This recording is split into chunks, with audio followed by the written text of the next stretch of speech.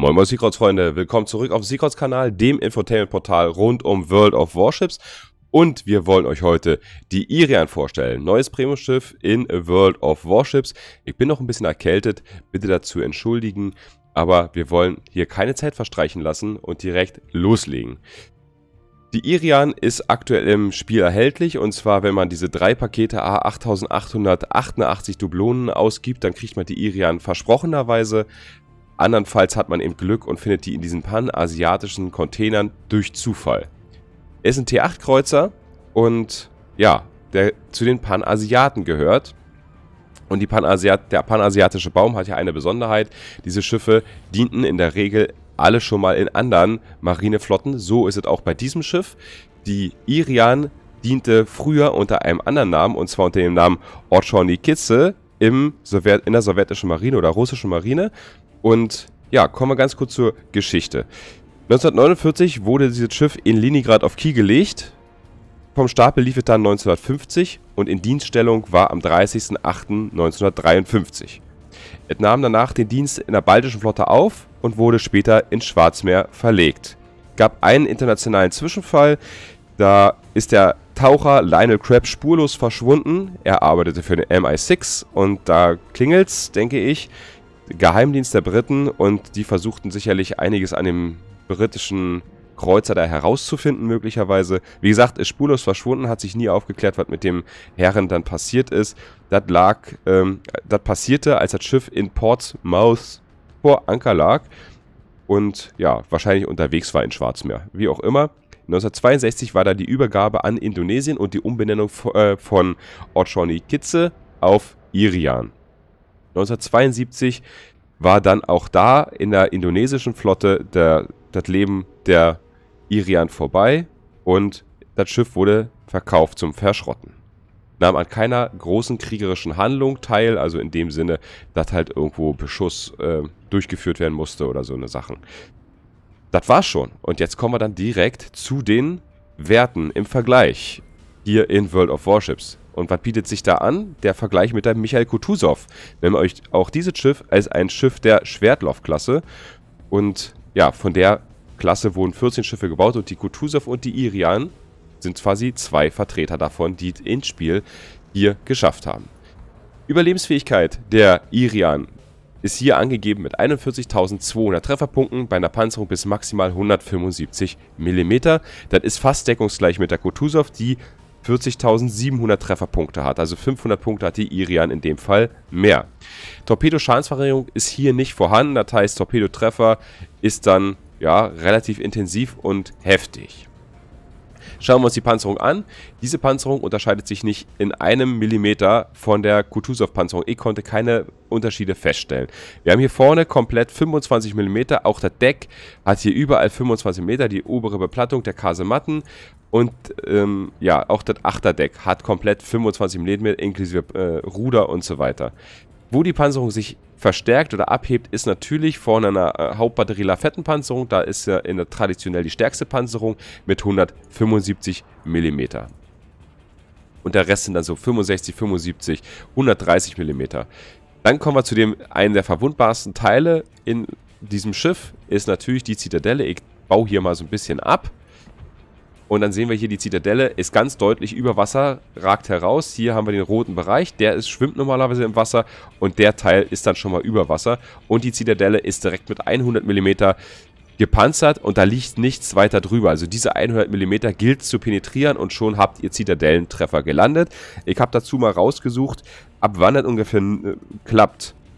Also man kann sagen, alle Kaliber ab 203 mm sorgen ohne Probleme dafür, dass man selbst auf große Kampfentfernung, also 17 Kilometer und mehr, weil das Schiff ja 17,5 Kilometer weit schießen kann, ähm, ja, da Zitadellen drauf landen können. Schla Schlachtschiffe sowieso, äh, wie gesagt, schwere Kreuzer, 203 mm Kaliber, äh, kann darauf auch ohne Probleme Zitadellen landen.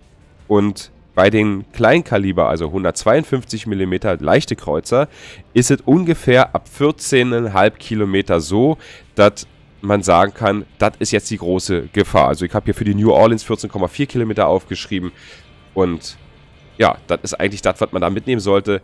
Das Schiff ist ganz ein Schiff, was man auf große Distanz fahren sollte. Also 17 bis 13 Kilometer und dann versuchen über Manövrieren und Inseldeckung zumindest kurz mal schießen, dann verschwinden. So sollte man dieses Schiff fahren, denn der Rest ist ein großes Risiko. Auch angewinkelt bleibt hier natürlich eine Menge Schaden drin, da auch hier wieder die Overmatch-Mechanik natürlich eine Rolle spielt. Wir haben hier 25 mm Bugbeplattung, Overmatch-Mechanik, ganz kurz erklärt, ist die Panzerung 14,3 mal kleiner als das Kaliber, was auf diese Panzerung zufliegt, wird der Einprall oder der Aufschlagwinkel ignoriert. Das heißt, ihr, ihr werdet immer penetriert in dem vorderen Bereich. Also das ist dann die Grenze bei 358 mm Kaliber. Geht hier einfach so durch, egal ob es auf die Spitze trifft und der Winkel bei 0 Grad ist sozusagen oder 1 Grad. Oder ja, ob er eben bei 90 Grad ist, wo die normalen ähm, Aufschlagwinkel dann eben sind das ist, das spielt hier keine Rolle. Overmatch-Mechanik ähm, ist halt wirklich eine, eine, eine Bedrohung für dieses Schiff. Denn auch hinter dieser Panzerung haben wir dann nur 120 mm in der Panzerung in der Zitadelle. Die sind natürlich auch gerade für ein Schlachtschiff relativ leicht zu durchdringen. Gut, dann kommen wir schon zur Artillerie. Die Artillerie. Ich mache hier mal die Panzerung aus. Die Artillerie hat vier Türme, also vorne zwei und hinten zwei, drei Rohre, 152 mm.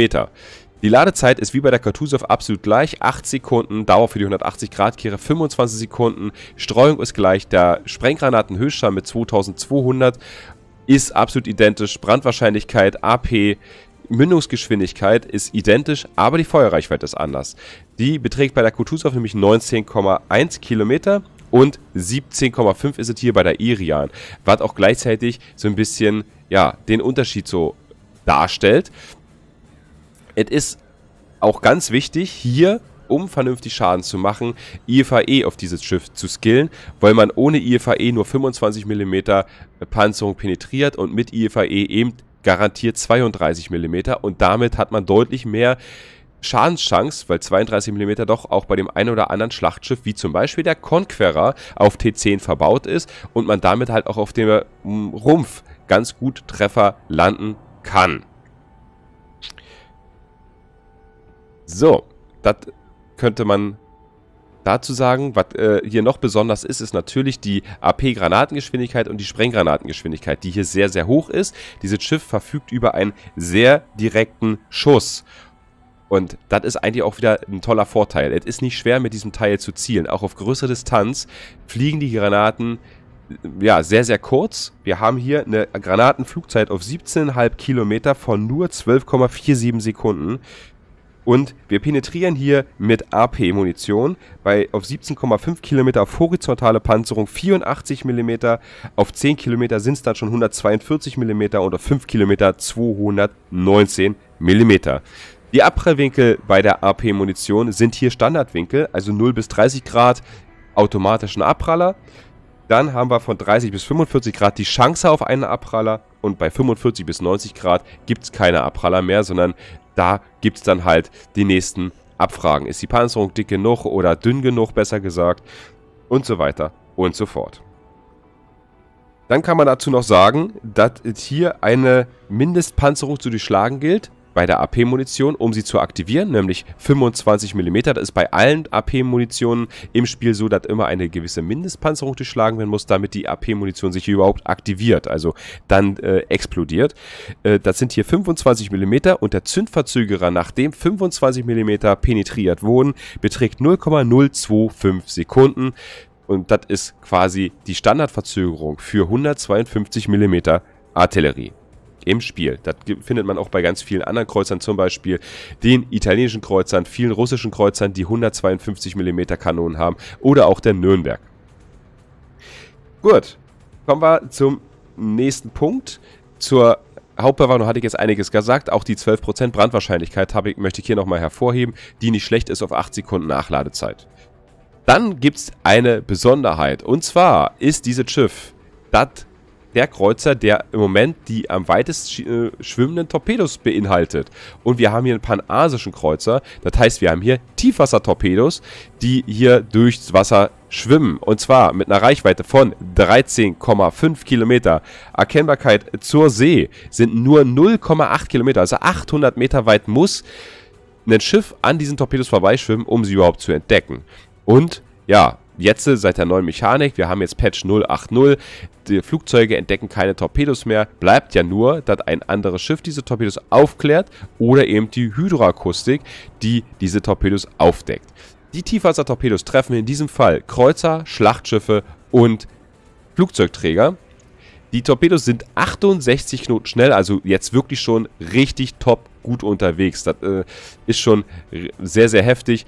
Und der, wie gesagt, Alpha Damage von 17.900 Trefferpunkten ist schon krass. Gerade weil dieses Schiff mit dieser, auch dieser Reichweite in die Lage versetzt, verdeckt zu torpen. Das heißt, wenn jemand auf 13 oder vielleicht sogar 14 Kilometer weit weg ist, hm, oder sogar nur 12 Kilometer, weil die, diese Irian ist eben drunter zu skillen, bis auf 10,8 Kilometer Entdeckbarkeit, ähm, ja, kann man Wasser im, äh, Torpedos im Wasser haben und den Dampfer, den Gegner treffen, ohne dass er weiß, dass man überhaupt da war. Das ist eine tolle Möglichkeit unter Umständen, wobei es sicherlich schwierig wird mit den heutigen, ähm, ja, mit dem CV-Rework, wo doch überall oder immer wieder eine Aufklärung stattfindet. Gut, im Vergleich zur Kutuzov, die hat hier nur 8 Kilometer Torpedos, die 60 Knoten schnell sind. Die gehen auch viel weiter auf und die haben auch nur einen Alpha-Schaden von 14.400 Punkten.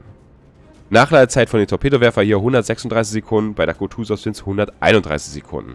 Und wir haben hier auf diese sind montiert übrigens links und rechts jeweils ein Werfer mit 5 Rohren. Gut, das kann man zu den Torpedos sagen. Dann kommen wir zur Flugabwehr. Die Flugabwehr hat hier einen Wert von 63. Ihr wisst selber, dass dieser Wert nicht mehr unbedingt so ausschlaggebend ist, sondern es vielmehr in den Details liegt, was hier mit der Flugabwehr passiert. Und die ist ja nur seit diesem aktuellen Patch wichtiger denn je geworden und wir haben jetzt auch hier viel mehr Informationen, die hier eine Rolle spielen. Es gibt hier aber keinen Unterschied zwischen den Schiffen. Das heißt, die Kutuzov oder eben die Irian sind komplett identisch. Von der Flugabwehr, das kann man, da gibt es eigentlich nichts weiter zu erwähnen und gilt für beide. Wir haben eine Abwehr für Mittelstrecke und Langstrecke. Das heißt, ähm, ja, kommen hier, Moment, einmal 100 Meter bis 3,5 Kilometer mit einer 85-prozentigen Trefferwahrscheinlichkeit. Das ist halt, wie dicht diese Salven da eingesetzt werden. Wir haben hier sieben Explosionen in einer Salve. Und dann geht es weiter 3,5 Kilometer bis 5,8 Kilometer. Auch da haben wir dann eben sechs Explosionen in einer äh, Salve. Gibt hier diesen kontinuierlichen Schaden, also der Schaden, der permanent ausgestreut wird, wenn man sich in dieser Zone aufhält. Und es gibt dann eben auch den Schaden, mh, der dann hier mit dieser Salve äh, diese Explosion beinhaltet. Das sind diese schwarzen Rauchwolken, die ihr immer wieder seht. Und dieser ist eben diese ist dann echt vernichtend. Ihr seht es, in dem Explosionsradius einer Granate fresse ich da 1260 Damage und in, den Langst in der Langstreckenflugabwehr sogar 2100 Damage. Das kann also passieren, wenn man durch die Langstreckenabwehr fliegt und dann da diese Explosionen bekommt, dass man da ganz schnell mal ein paar Flieger verliert. Wenn man die Sektoren verstärkt, also links oder rechts, ist das eine Steigerung von 25% und die Verstärkung der Sektoren oder der Wechsel für Sektoren dauert dann 10 Sekunden. Also das heißt von 100 auf 125% oder von 125% wieder auf 100%, respektive dann auf die andere Seite. Ich, wenn ich gegen die Irian mit meinem Flugzeugträger unterwegs war, war das durchaus anstrengend und herausfordernd, diese zu torpedieren und anzufliegen, aber es ist durchaus möglich, eine Salve an Torpedos ins Wasser zu schmeißen. Gut. Dann kommen wir zum nächsten Wert. Der nächste Wert ist die Manövrierfähigkeit. 32,7 Knoten stehen hier bei der Irian zu Buche, 760 Meter Wendekreis und eine Ruderstellzeit, die doch sehr langsam ist mit 10,3 Sekunden dafür, dass das Schiff so verwundbar ist. Denn da steht die Kutuzov ein bisschen besser hervor. Äh, denn wir haben da bei der Kutuzov 33 Knoten. Der Wendekreisradius ist der gleiche, aber wir haben eine Ruderstellzeit, die fast 4 Sekunden geringer ist, denn das sind 6,5 Sekunden. Und die Verborgenheit des Schiffes beträgt hier 13,7 zu Wasser, 9,3 zur Luft. Im Nebel gehen wir 7 Kilometer weit auf, wenn wir die Hauptgeschütze benutzen. Da ist die Kutuzov dann wieder hinten dran, da diese 14,5 zu Wasser aufgeht, 9,3 zur Luft Und wenn sie im Nebel steht und schießt, geht sie 700 Meter weiter auf als die Irian, nämlich 7,7 Kilometer. Das heißt, die Kutuzov ist deutlich wendiger und sogar einen Ticken schneller, geht aber auch weiter auf, während die Irian ein bisschen weniger wendig und ein bisschen weniger schnell ist, dafür aber verborgener. Das heißt, da ist so ein Kompromiss zu finden, was einem dann mehr liegt. Zu den Modulen. Was gibt es denn für Verbrauchsmaterialien? Wir haben hier mitgeliefert bekommen. Schadensbegrenzungsteam natürlich wieder. 1 und 2, Standardwerte, Wirkungsdauer 5 Sekunden, Ladezeit 90 respektive 60 Sekunden, wenn ihr das Premium-Modul benutzt. Und wieder mein Standardtext, den kennt ihr schon. Premium-Schiff heißt Premium-Verbrauchsmaterial, also scheut euch nicht und nehmt die 22.500 Silber in die Hand. Die verlängern einfach euer Leben in dem Gefecht und somit verdient ihr die Kohle mehr, die diese Verbrauchsmaterialien kosten und das ist ein Premium-Schiff. In der Beziehung müsst ihr euch also keine Gedanken machen, dass da irgendwie zu wenig Credits übrig bleiben. Nächster Punkt ist die hydroakustische Suche, die hier verbaut ist. Ortung von Torpedos 3,5 Kilometer, Ortung von Schiffen 5 Kilometer. Auch wieder 100 Sekunden aktiv, Ladezeit 3 Minuten oder 2 Minuten, eine La zwei Ladungen oder drei Ladungen. Das heißt, da gibt es wieder Unterschiede, je nachdem, äh, was man dann da eingebaut hat.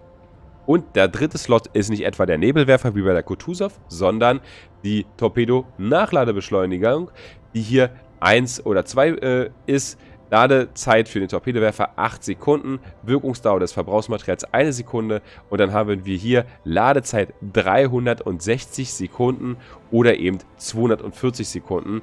Das sind nochmal 2 Minuten Unterschied zwischen den verschiedenen Modulen und von daher sollte man auf jeden Fall hier zum Premium-Modul greifen. Gerade weil die Torpedos so lange schwimmen und die man einfach auch mal auf Verdacht abwerfen kann. Äh, und ja, die meisten Leute rechnen aktuell nicht damit, dass da Torpedos rumschwimmen, gerade weil sie auch sehr, sehr schwer zu entdecken sind. Bei der Kutuzov können wir ganz kurz auch mal auf das Verbrauchsmaterial gucken. Wie gesagt, hier gibt es dann den Nebelerzeuger und bei der Hydroakustik gab es hier noch die Auswahl zum defensiven Flakfeuer, was jetzt aktuell ähm, ja, auch durchaus sinnvoll sein kann bei dem Umbau. Ne? Also, wir switchen wieder zurück zur Irian und schauen uns dann die einbaubaren Verbesserungen an und ich sage euch ein bisschen was dazu. Der erste Slot ist ganz klar die Hauptbewaffnungsmodifikation 1. Meiner Meinung nach, durch die geringere Panzerung ist es durchaus sinnvoll, das Risiko eines Ausfalls der Hauptbatterie einfach zu steigern, auch die Überlebensfähigkeit ähm, zu steigern. Dadurch das ist eure Hauptbewaffnung und die ist eben enorm wichtig. Auch der Torpedowerfer, da ihr beide Varianten habt und dieses Modul in beide Sachen steigert, nämlich den Torpedowerfer und die Hauptbatterie, müsst ihr quasi unbedingt diese Sache einbauen. Nächster Punkt ist dann Schadensbegrenzung, Systemmodifikation, Antrieb oder Steuergetriebe. Ich würde hier ganz klar zur Schadensbegrenzung äh, tendieren. Ich hatte in meinen Testfahrten, die ich mit dem Schiff gemacht habe, keine Probleme mit dem Steuergetriebe oder mit der Antriebsmodifikation. So, und jetzt kommen wir zu Slot 3 und jetzt wird es langsam interessant. Brauchen wir Plug- oder Zielsystemmodifikation? Das müsst ihr am Ende selber entscheiden. Ich würde aktuell, bei der aktuellen Lage des Servers, für, zur Flak-Modifikation tendieren, weil sie einfach dafür sorgt, dass ihr nochmal in jedem Bereich, Bereich also Mittelstreckenflugabwehr und Langstreckenflugabwehr, zwei Explosionen ähm, zusätzlich generiert. Und ich glaubt mir einfach, diese äh, schwarzen Explosionen sind für äh, Flugzeugträger extrem nervig und extrem gefährlich und kann euch das Leben retten oder verlängern. Und von daher tendiere ich hier ganz klar zur Flakbewaffnung.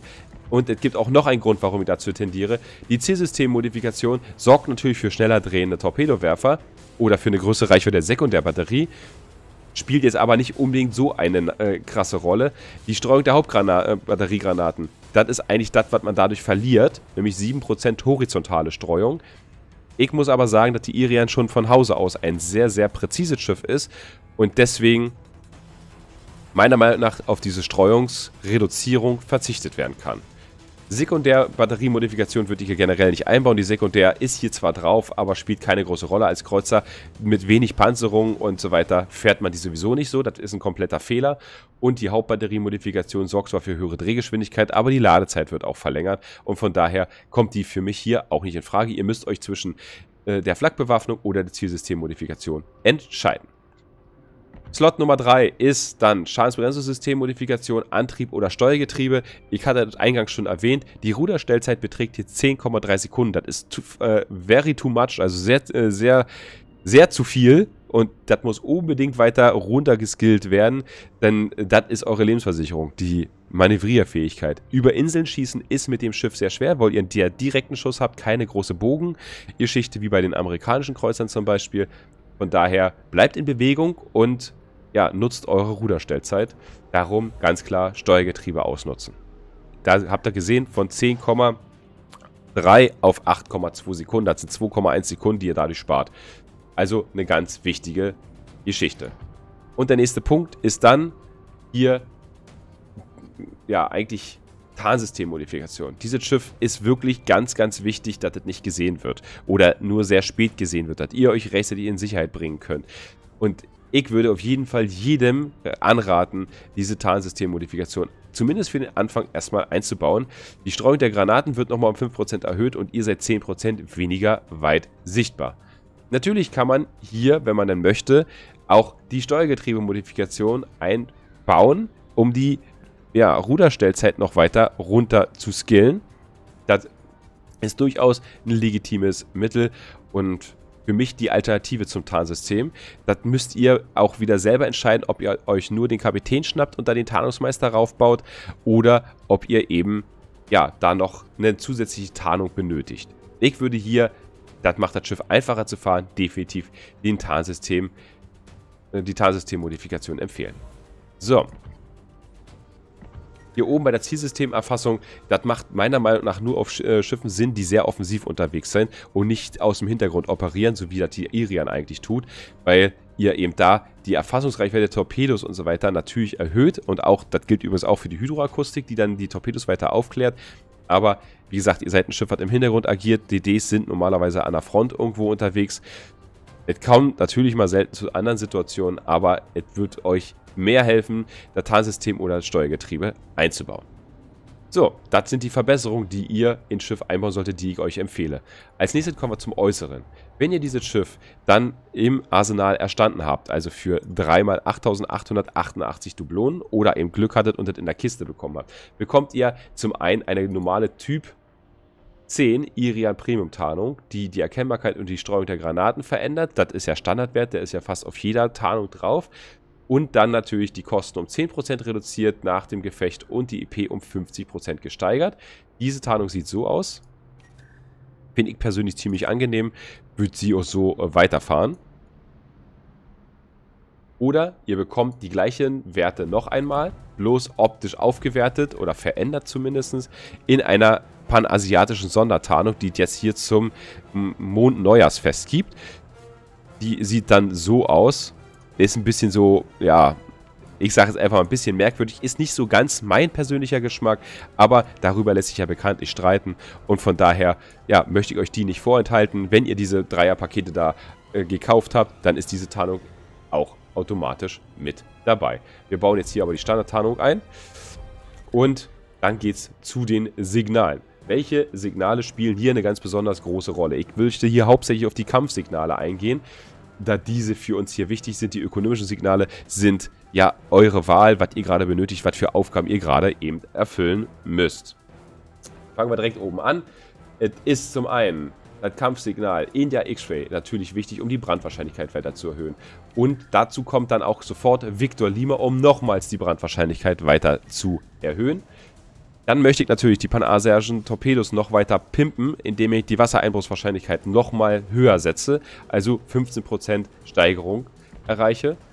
Ganz wichtig ist auch heute die Flugabwehr, kontinuierlicher Schaden für eine Kurz- und Mittel- und Langstreckenlafetten plus Schaden pro Sekunde innerhalb der Explosionsradius von Granaten der Mittel- und Langstreckenflugabwehr. Das heißt, da gibt es nochmal für alle Bereiche, Kurz-, Mittel- und Langstrecke, mehr äh, durchschnittlichen Schaden und dann auch noch mehr Schaden durch die schwarzen Explosionen, so nenne ich sie jetzt einfach.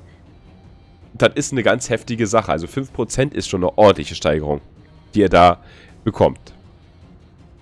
Der nächste Punkt ist dann im unteren Bereich hier November Foxtrot. Nachladezeit des Verbrauchsmaterials solltet ihr auf jeden Fall weiter reduzieren. Ihr habt drei Verbrauchsmaterialien, die alle ziemlich wichtig sind und eure Überlebensfähigkeit oder eure Wehrhaftigkeit deutlich steigern. Der kleine Nachteil zu Kutuzov, den könnt ihr wegmachen, indem ihr einfach Sierra Mike einbaut. Auch eine sehr sinnvolle Geschichte. Nämlich dann kommt ihr auf 34,3 Knoten. Zum Ende, ganz wichtig, ist die, der, die Beseitigung des, Risiko, des, Risikos einer Magazindetonation. Durch die geringe Panzerung habt ihr ein gewisses Risiko, dass euer Magazin getroffen wird und ihr dann instant äh, sterbt, sozusagen, nachdem 25% eures Lebens vom Schiff abgezogen wurden. Da gab es ja vor einiger Zeit mal eine Mechanikänderung. Man kann nicht mehr bei 100 bis 76% Trefferpunkte äh, detonieren, äh, sondern erst ab äh, 75% bzw. weniger. Ja? Die baut man noch ein und dann India Yankee. Zeit zur Brandbekämpfung würde ich hier persönlich auch noch mit draufpacken. Und wenn man mal aufgeht, kann dort kann das passieren, dass man sehr schnell mit HE beschossen wird, weil man eben doch jetzt ein bisschen wendig ist, versucht auszuweichen, die AP-Munition nicht mehr die original optimalen Winkel für euch bietet, also für den Gegner auf euch zu schießen bietet und dann wird schnell auf HE gewechselt und daher solltet ihr das ist natürlich für euch ein großes Risiko zu brennen und deswegen solltet ihr meiner Meinung nach India Yankee hier noch mit draufsetzen. So, und dann haben wir acht Signale zusammen. Die Standardflaggen sind für euch sowieso in Anführungsstrichen egal, es sei denn, ihr spielt gerade halt äh, in der Liga und seid da unterwegs.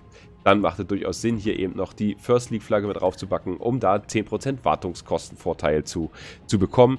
Wie gesagt, das ist nur kurz und in, in den gewerteten Saisongefechten verfügbar. Das heißt, das ist hier nicht repräsentativ. So, und dann kommen wir zum Kapitän. Denn wenn ihr dieses Schiff käuflich erwerbt, dann bekommt ihr einen Premium-Kapitän, der hier Quan Rong heißt. Wenn ihr dieses Schiff in einem Zufallscontainer bekommen habt, sozusagen, dann gibt es ja auch diesen, das hier ist quasi einer der beiden Brüder, die beide die gleichen Fähigkeiten haben. Äh, einmal gibt es Quanrong und einmal gibt es Darong. Ja, Darong ist der äh, Zufallskapitän, also der, den ihr euch erspielen könnt im Spiel. Und Quanrong ist eben äh, der Kapitän, den ihr bekommt, wenn ihr das Ding aus dem panasiatischen Premium-Containern zieht. Also aus diesen Mondcontainern. Die haben besondere Fähigkeiten, nämlich hier Experte der Überlebensfähigkeit und natürlich den Sprengmeister. Und ich gehe darauf jetzt ganz äh, besonders ein. Ich habe jetzt hier einen 10er Kapitän. Und ja, wichtig aus meiner Sicht und mh, sehr sinnvoll ist hier zu skillen vorrangiges Ziel. Ihr seid leicht gepanzert und müsst durch Wendigkeit das alles wettmachen Darum vorrangiges Ziel unheimlich wichtig. Ihr wisst genau, wie viele Schiffe auf euch zielen und ob Manöver erforderlich sind. Punkt Nummer zwei ist dann sofort entweder Adrenalinrausch, was ein sehr, sehr wichtiger Skillpunkt sein kann, oder eben Elite-Schütze, um die Türme schnell zu drehen. 25 äh, Sekunden Ruder, ähm, Turmdrehzeit ist äh, hier anliegend und ihr könnt dann mit 0,7 Sekunden pro Sekunde schneller drehen. Das heißt, ihr kommt auf ungefähr 20 Sekunden Pi mal Daumen, ein bisschen drüber noch. Mm, und ja, das kann in entscheidenden Situationen den Vorteil ausmachen. Aber ebenso halt auch Adrenalinrausch, weil ihr dann ja pro Trefferpunkt, den ihr verliert, äh, halt auch ähm, eine Ladezeitverkürzung bekommt. Im dritten Bereich kann ich euch mehrere Sachen empfehlen. Und zwar zuallererst und mit meiner Meinung nach ganz besonders wichtigen Skill, gerade weil er hier auch gefördert wird, ist der Sprengmeister. Ihr verliert durch die IFAE-Skillung, die ich euch auch gleich ans Herz legen werde, um vernünftig Damage mit diesem Schiff zu machen, 3% Brandwahrscheinlichkeit. Mit dieser Premium-Skillung, also mit diesem Premium-Kapitän hier sozusagen, dieser verbesserten Fähigkeit, könnt ihr die Brandwahrscheinlichkeit wieder um 3% steigern. Das heißt, die beiden Skills heben sich gegenseitig auf. Und das ist eine ganz, ganz wichtige Sache. Und deswegen empfehle ich euch, das hier sogar zuerst zu skillen. Wenn ihr dann noch vier Punkte übrig habt, solltet ihr meiner Meinung nach zuerst den Tarnungsmeister skillen, um die Erkennbarkeit um weitere 10% nach unten zu schrauben. Ihr könnt aber auch zuerst IFAE skillen, wie ihr das möchtet. Sobald ihr einen 14er Kapitän habt, ist der nächste Skill nach dem Tarnungsmeister, respektive je nachdem, was ihr zuerst skillt, jeweils das andere. Also entweder Trägerzünder der Sprenggranaten oder dann der Tarnungsmeister. Und dann seid ihr erstmal schon mal richtig gut aufgestellt. Danach geht's weiter und zwar hier in diesem Bereich. Aktuell werden Flugzeuge zu immer größeren Bedrohung.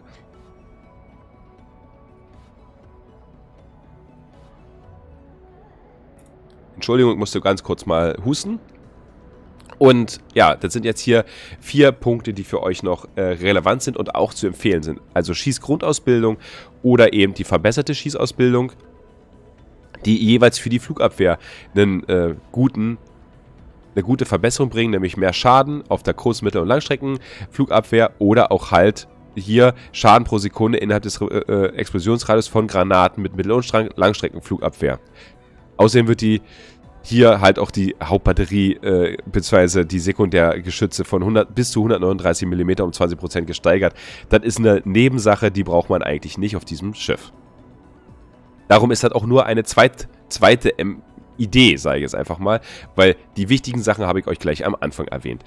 Ich finde wichtiger als die Schießgrundausbildung eigentlich noch den Inspekteur, weil ihr dann Hydro- und Torpedo-Nachladebeschleuniger einfach noch einmal mehr verfügbar habt und das halte ich für sehr, sehr sinnvoll. Äh, und eine zweite Variante, die man sich auch nochmal überlegen kann, ist eben hier die, das manuelle Feuern der äh, Flakbewaffnung, die dafür sorgt, dass eben der Sektor, den ihr verstärkt habt, um 20% mehr verstärkt wird und auch die Zeit zur Verstärkung eines Flugabwehrsektors eben ähm, ja, verkürzt wird. Das kann also auch nochmal ein richtig sinnvoller Skill für das Schiffchen sein.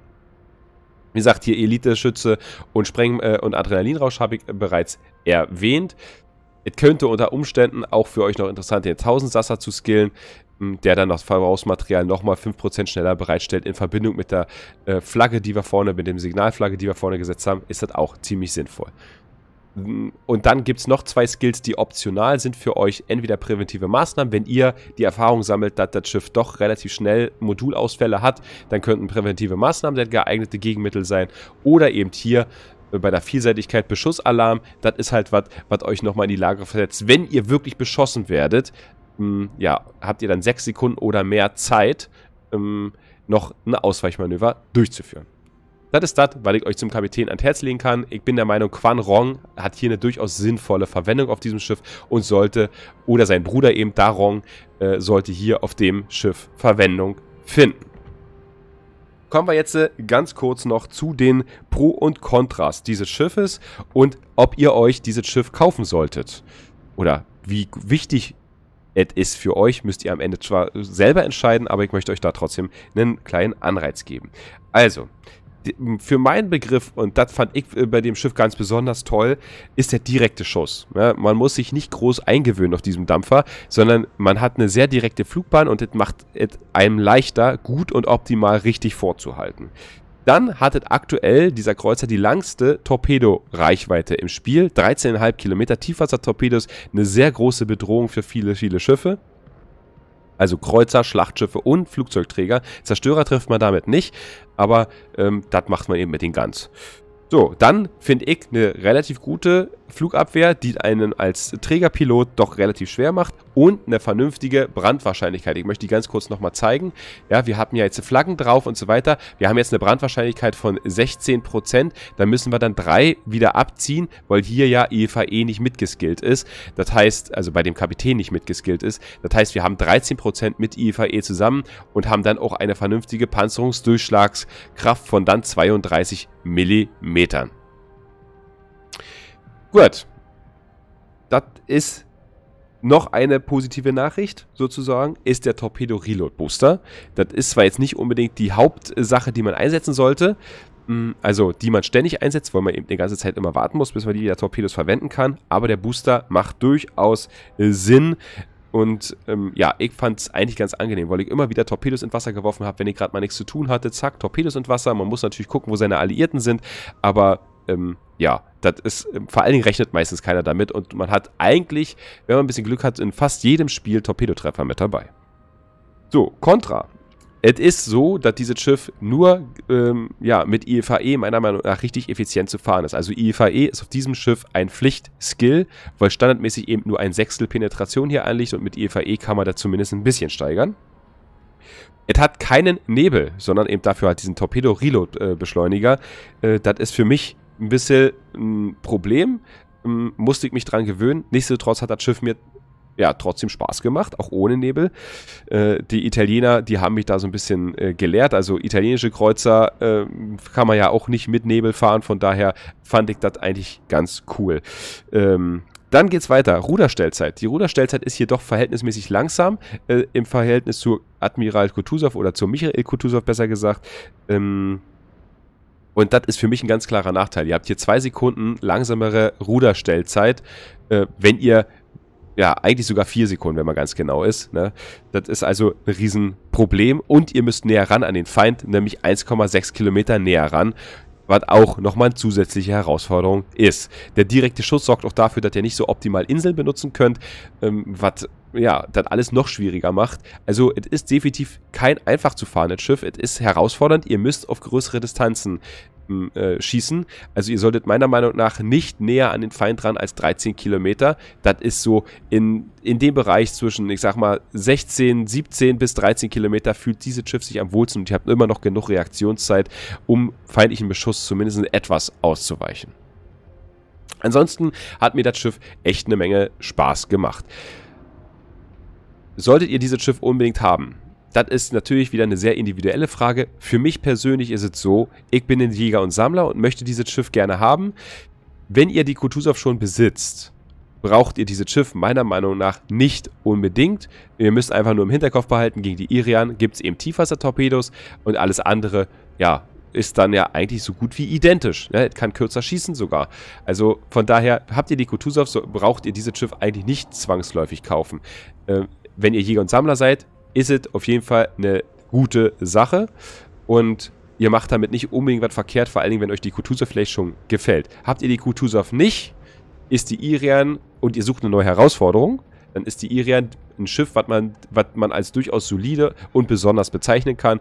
Und ja, wer möchte, und vielleicht sogar auch ein bisschen Glück hat, aus den Containern diese Sache zu ziehen, dem kann ich dazu nur gratulieren, denn damit macht man eigentlich nichts verkehrt. Wie gesagt, spezielle Fahrweise, ein bisschen überlegt und äh, beherzt handeln sozusagen, also aus dem, ein bisschen aus dem Hintergrund, äh, dann macht ihr, habt ihr da sicherlich eine Menge Spaß damit. So, und das war's mit der Schiffsvorstellung zur Irian. Ich hoffe, ihr konnte euch wieder ein bisschen einen Anreiz äh, bieten oder die Informationen bieten, die ihr brauchtet, was hier besonders ist, was nicht so zu empfehlen ist. Wenn dem so ist, würde ich mich ganz doll über ein Abonnement, über einen Daumen nach oben freuen. Natürlich freut mich auch immer über konstruktive Kritik und eure Kommentare unter diesem Video. Ihr könnt auch gerne Wünsche äußern, welche Schiffe wir einmal vorstellen sollten. Dazu kann ich euch auch nur einladen. Und ja, ich danke für eure Zeit und wir hören uns im nächsten Video hier auf dem YouTube-Kanal von Seacrowds, dem Infotainment-Portal rund um World of Warships. Ciao, ciao, macht's gut!